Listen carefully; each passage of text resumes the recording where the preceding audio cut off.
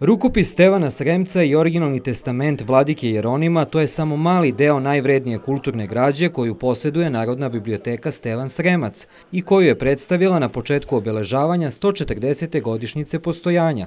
Svi spisi knjige smešteni su u posebne vitrine koje je biblioteka obezbedila da bi na najbolji način očuvala kulturno blago po prvi put prezentujemo javnosti sve ono što je najvrednije u biblioteci.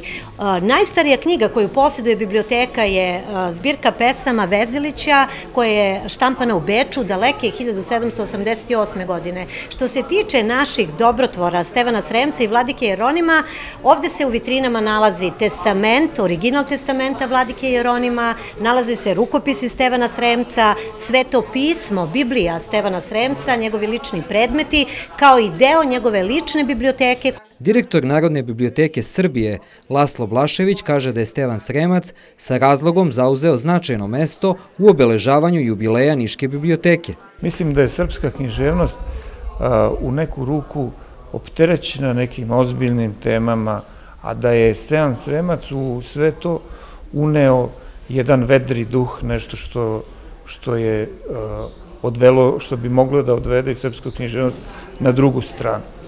Tako, tako da je ovaj, da je ovo što bi čovek mogao da, da kaže jeste da je ovakav napor bitan da se upravo osvetli lice ovog značajnog pisa iz jednog drugog ugla.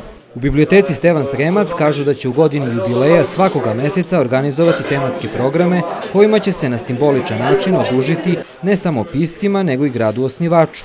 Otvaranju stalne postavke u biblioteci je pored velikog broja zvaničnika prisustvovao